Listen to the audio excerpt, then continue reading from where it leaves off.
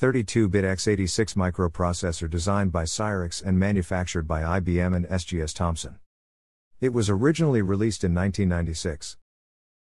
A simplistic block diagram of the Cyrix 6x86 microarchitecture. The 6x86 is superscalar and superpipelined and performs register renaming, speculative execution, out of order execution, and data dependency removal.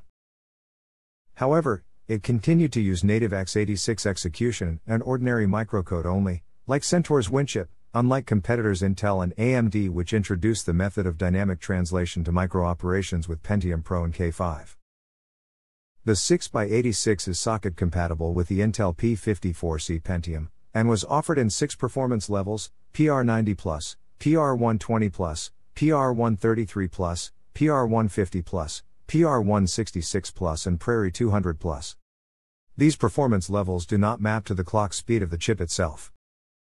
With regard to internal caches, it has a 16 kilobyte primary cache and a fully associative 256 byte instruction line cache is included alongside the primary cache, which functions as the primary instruction cache.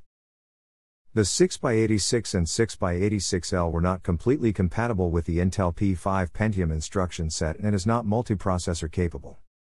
For this reason, the chip identified itself as an 80486 and disabled the CPUID instruction by default.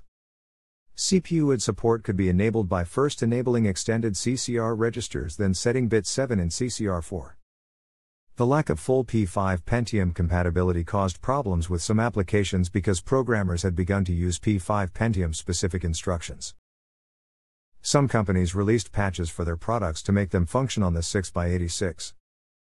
Compatibility with the Pentium was improved in the 6x86MX by adding a timestamp counter to support the P5 Pentium's RDTSC instruction. Support for the Pentium Pro's CMOV instructions were also added. Similarly to AMD with their K5 and early K6 processors, Cyrix used a PR rating to relate their performance to the Intel P5 Pentium. As the 6x86's higher per clock performance relative to a P5 Pentium could be quantified against a higher clock Pentium part.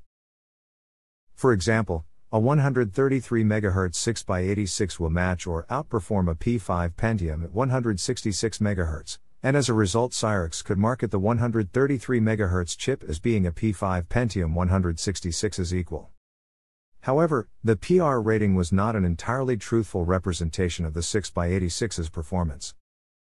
While the 6x86's integer performance was significantly higher than P5 Pentium's, its floating point performance was more mediocre, between 2 and 4 times the performance of the 486 FPU per clock cycle. The FPU in the 6x86 was largely the same circuitry that was developed for Cyrix's earlier high performance 8087 80287 80387 compatible coprocessors, which was very fast for its time. The Cyrix FPU was much faster than the 80387 and even the 80486 FPU.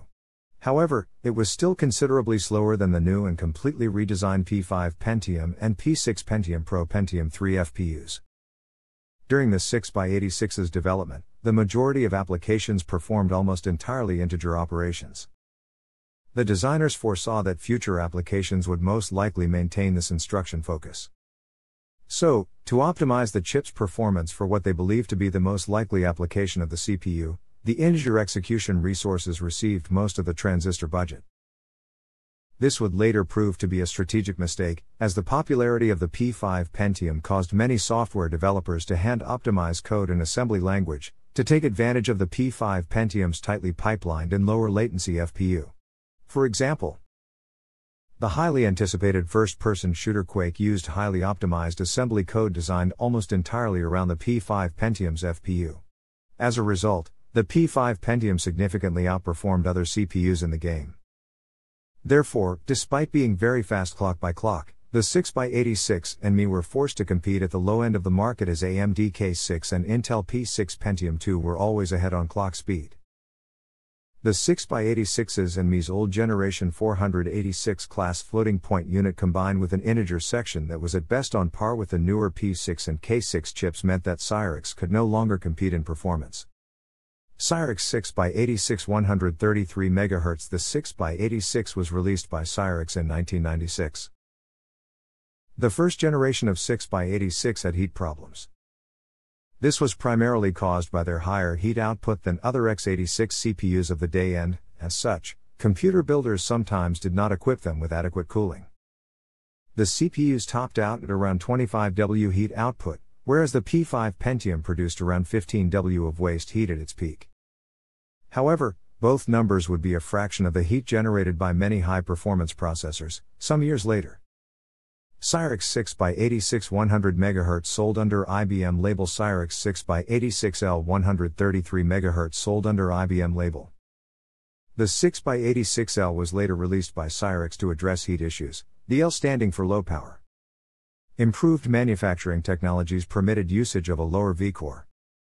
Just like the Pentium MMX, the 6x86L required a split power plane voltage regulator with separate voltages for I/O and CPU core. IBM 6x86MX PR300 processor Cyrix 6x86MX 198 MHz sold under IBM label view of the socket 7 321 pin connectors of an IBM 6x86MX PR200 CPU. Another release of the 6x86, the 6x86MX, added MMX compatibility along with the EMMI instruction set, improved compatibility with the Pentium and Pentium Pro by adding a timestamp counter and CMOV instructions respectively. And quadrupled the primary cache size to 64 kilobytes. The 256 byte instruction line cache can be turned into a scratchpad cache to provide support for multimedia operations. Later revisions of this chip were renamed MII to better compete with the Pentium 2 processor. Unfortunately, 6x86MX, MII was late to market, and couldn't scale well in clock speed with the manufacturing processes used at the time. Thanks for watching.